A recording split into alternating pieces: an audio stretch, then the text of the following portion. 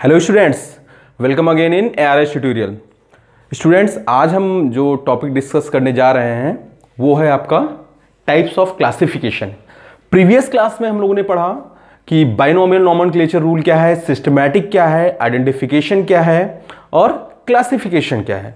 तो जो binomial नॉमन rule एक बार हम आपको फिर से रिवाइज करा दे रहे हैं कि उसके रूल्स जो हैं वो आपको ज़रूर याद होना चाहिए। तो बाइनोमियल नॉमन रूल जो था वो लीनियस ने दिया था और उसमें लीनियस ने बताया कि जितने भी लिविंग ऑर्गेनिजम्स हैं सबको एक साइंटिफिक नेम प्रोवाइड किया गया और उसके कुछ रूल्स बताए। रूल्स में क्या था कि जो भी लिविंग ऑर्गेनिज्म है जिनको साइंटिफिक नेम प्रोवाइड किया गया, उसमें टू नेम्स हैं, एक जीनस नेम है और दूसरा स्पीसीज नेम है।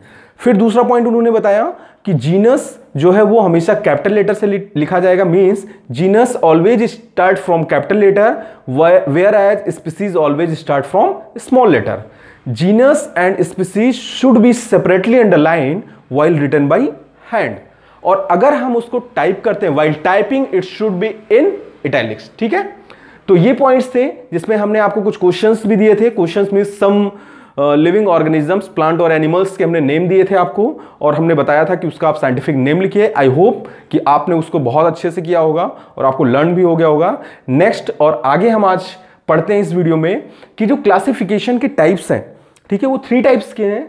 फ़र्स्ट जो है वो आर्टिफिशियल सिस्टम है second one is natural system and the third one is phylogenetic system ठीक। तो एक एक को हम डिस्क्राइब करेंगे। सबसे पहले हम देखते हैं कि आर्टिफिशियल सिस्टम क्या है? ठीक तो जो आर्टिफिशियल सिस्टम ऑफ़ क्लासिफिकेशन था, ये बहुत ही लिमिटेड और इसको एजम्पन करके ऑर्गेनिजम्स को क्लासिफाई किया गया। ठीक है, इसमें कुछ ही फीचर्स मैच करते थे, वो भी एज्यूम करके।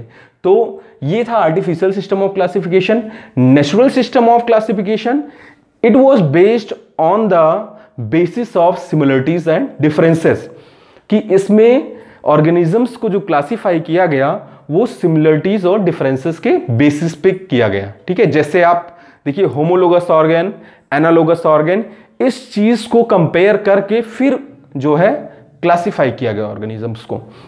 नेक्स्ट है फाइलोजेनेटिक सिस्टम फाइलोजेनेटिक सिस्टम में क्या है? फाइलोजेनी देखिए फाइलोजेनेटिक पहले आप समझिए होता क्या है। तो फाइलोजेनी जो टर्म है, इसको हम बोलते हैं इवोल्यूशनरी या इवोल्यूशन इवोल्यूशन तो जो इवोल्यूशनरी रिलेशनशिप है ऑर्गेनिजम्स में, उसी को हम लोग बोलते हैं फाइलोजेनेटिक सिस्टम ठीक है? तो थ्री टाइप्स के क्लासिफिकेशन कौन कौन से हैं? Artificial system of classification second one is natural system of classification and third one is phylogenetic system of classification इसमें ऑर्गेनिजम्स को क्लासिफाई किया गया एजम्पन में, इसमें सिमिलरिटीज और डिफरेंसेस में, और इसमें इवोल्यूशनरी रिलेशनशिप के बेसिस पे. ठीक है? तो ये था आपका टाइप्स ऑफ़ क्लासिफिकेशन और जो आपका नेक्स्ट टॉपिक है, वो है हायरार्की ऑफ़ कैटेगरीज ये बहुत ही इंपॉर्टेंट टॉपिक है। ये आपको एकदम क्लियर होना चाहिए, जिसमें हम आपको बताने जा रहे हैं एक फॉर्मूला के through hierarchy of categories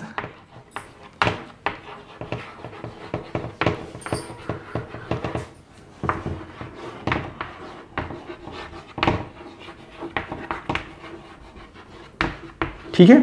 hierarchy of categories ठीक? तो हायरकी ऑफ़ कैटेगरीज में जो हम लोग पढ़ेंगे, ठीक है? हायरकी ऑफ़ कैटेगरीज जो दिया, वो भी लीनियस ने दिया।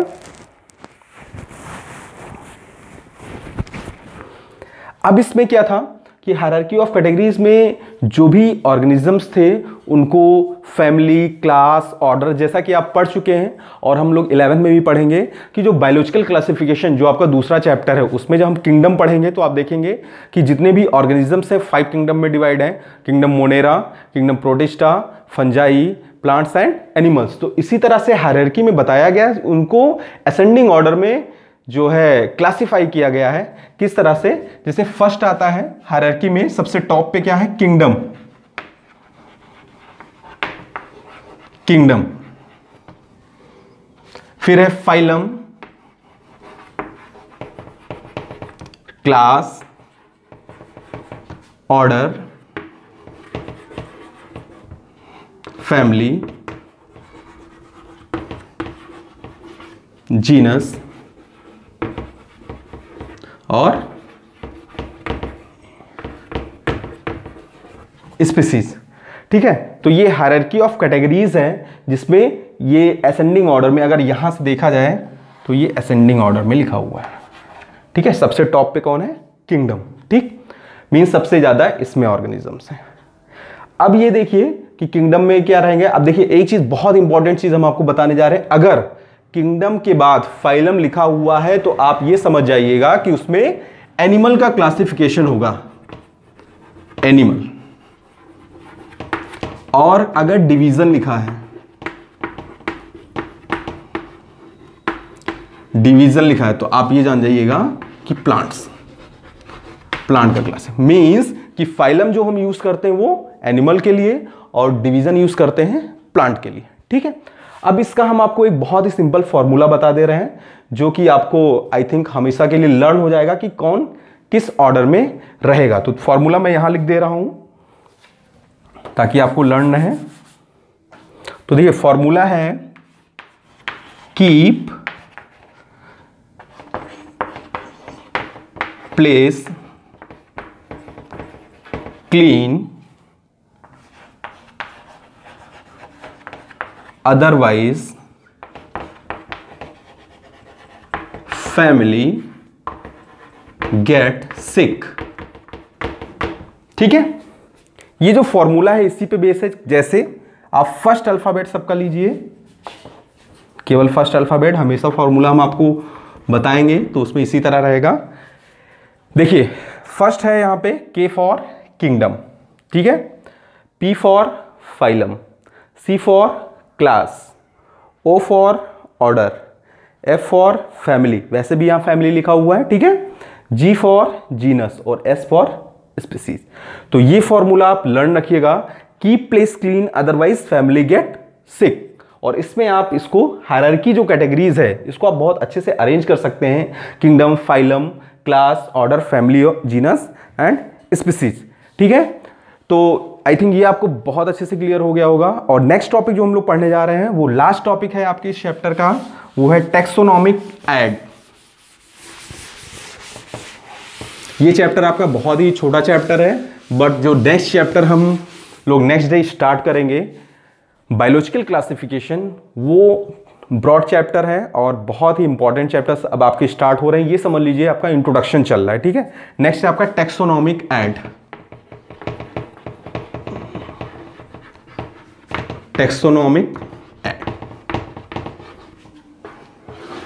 ठीक है? अब देखिए टेक्सोनॉमी एड में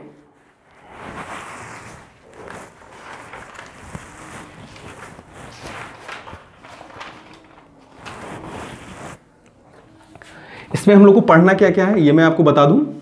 इसमें सबसे पहले हम लोग को पढ़ना है हर्बेरियम।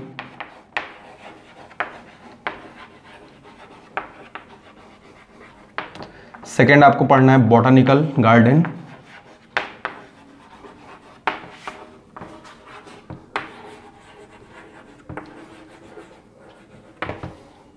थर्ड आपको पढ़ना है जूलॉजिकल पार्क।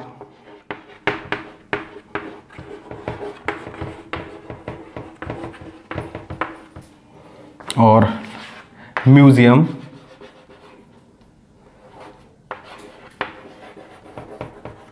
और लास्ट है की ठीक है? तो इतने पॉइंट्स हैं, आपको टेक्सोनॉमिक एड्स में पढ़ना है। तो देखिए हर्बेरियम क्या है? हर्बेरियम एक प्लेस है, ठीक है? जैसे म्यूज़ियम टाइप का है। एक प्लेस है जहाँ पे ड्राइड और प्रेस्ड जो प्लांट्स हैं, उनके लीव्स और उनके पार्ट्स को हम लोग प्रिजर्व करते हैं। ठीक है? उसे हम लोग बोलते हैं हार्बेरियम हार्बेरियम मैं आपको बता दूँ, अब एक एक को हम डिस्क्राइब करेंगे। सबसे पहले हम देखते हैं हार्बेरियम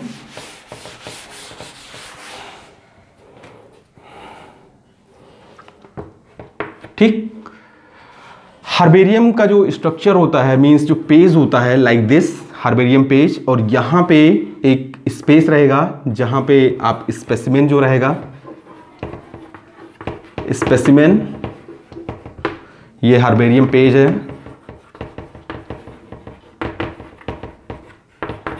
ठीक है? और यहाँ पे आपको डिटेल कि आपने कहाँ से प्लांट कलेक्ट किया है, ठीक है? और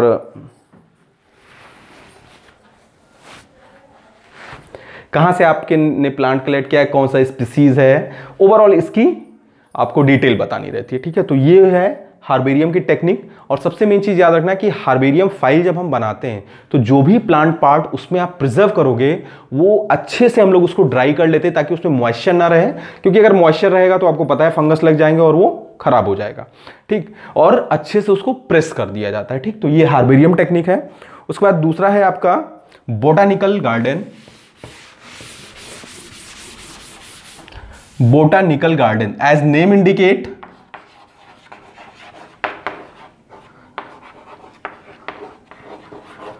botanical garden. ठीक?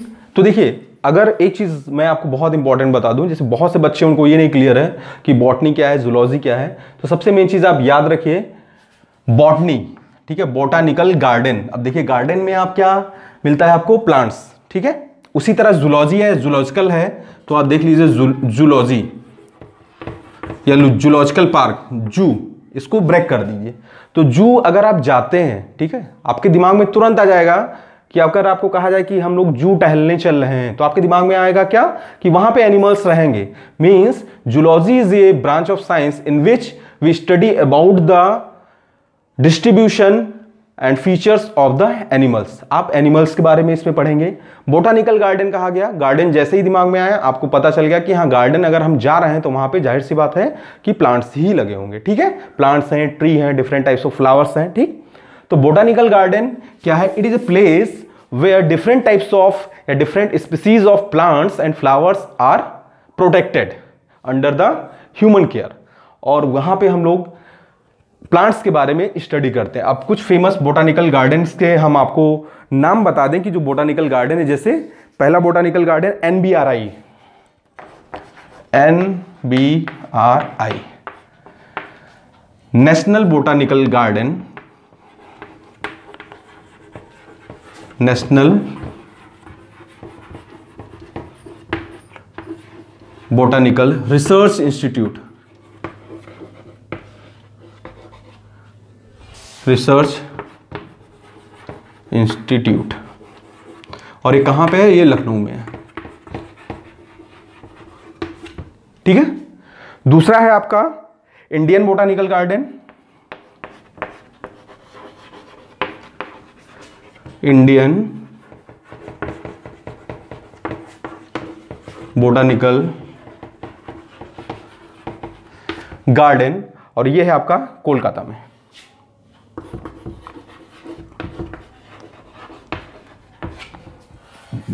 ठीक है बच्चों? तो आपको आई थिंक ये क्लियर हो गया होगा कि बोटानिकल गार्डन क्या होता है और वहाँ पे क्या चीज़ हम लोग प्रिजर्व करते हैं, ठीक है? नेक्स्ट है आपका म्यूज़ियम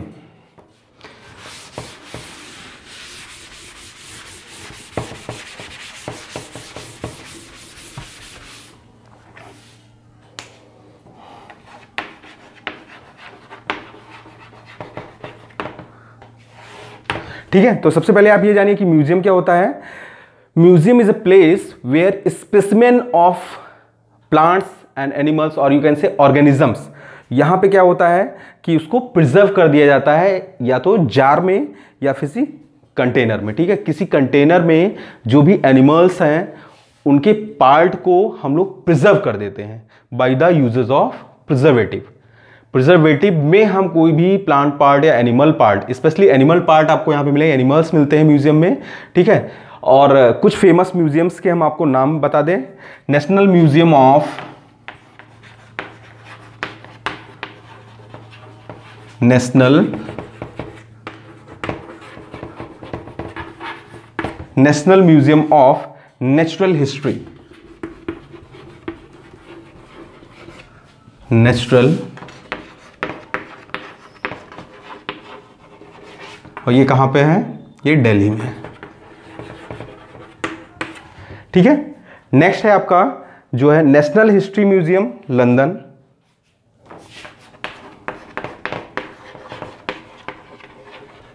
national history museum कहाँ पे है?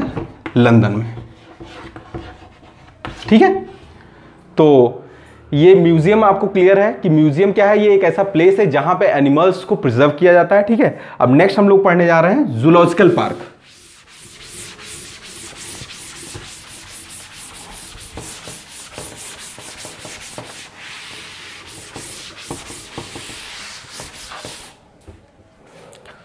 नेक्स्ट है जूलॉजिकल पार्क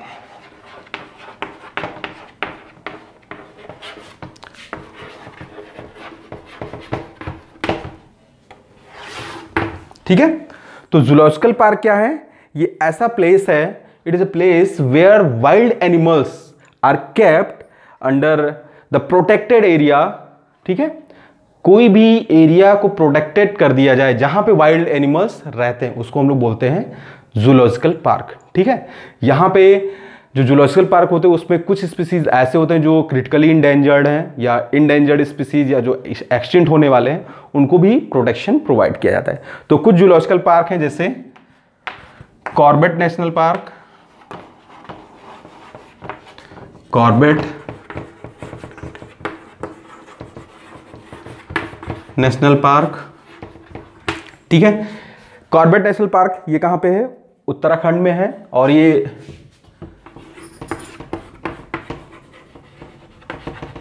उत्तराखंड और ये किसके लिए प्रोटेक्शन प्रोवाइड करता है? टाइगर के लिए।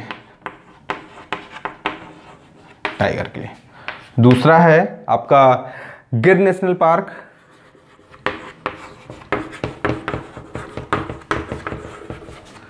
Gir national park ये है आपका गुजरात में। और ये किसको प्रोटेक्शन प्रोवाइड करता है? लॉयन को। ये आप कह सकते हैं एशियाटिक लाइन ठीक है? और लास्ट जो आपका टॉपिक है वो है की तो की क्या चीज़ है? की में है कि कुछ पॉइंट्स के बेसिस पे हम किसी भी ऑर्गेनिजम्स को कंपेयर करते हैं और फिर उसका क्लासिफिकेशन करते ठीक है? तो ये चैप्टर आपका यहाँ पे एंड होता है, ठीक है? ओवरऑल हम लोग ने फ़र्स्ट चैप्टर कंप्लीट किया है, ठीक है? और हम नेक्स्ट चैप्टर के साथ जो हम लोग को बायोलॉजिकल क्लासिफिकेशन चैप्टर है, उसके साथ मिलते हैं और आई होप कि आपको जो हमने पढ़ाया है, वो आपको बहुत अच्छे से समझ में आया होगा। और आपको कैसा लगा हमारा वीडियो इसको आप एक बार ज़रूर हमें कमेंट में करके बताइए, क्योंकि हम फ़र्स्ट ईयर का सिलेबस स्टार्ट किए हैं और इस तरह से कॉन्टिन्यूटी बनाते हुए first chapter to twenty two chapters continue हम लेक्चर वीडियो लेक्चर इस तरह से अपडेट करेंगे। बट हम सबसे पहले आपका फीडबैक जानना चाहते हैं कि आपको हमारा लेक्चर कैसा लगा। तो आप अपना फीडबैक ज़रूर दीजिए कमेंट ज़रूर करिए। एंड आई होप कि आपको हमारा वीडियो बहुत अच्छा लगा होगा। तो हम लोग मिलते हैं नेक्स्ट वीडियो के साथ। आपको नेक्स्ट चैप्टर में biological classification thank you to all of you for watching us on YouTube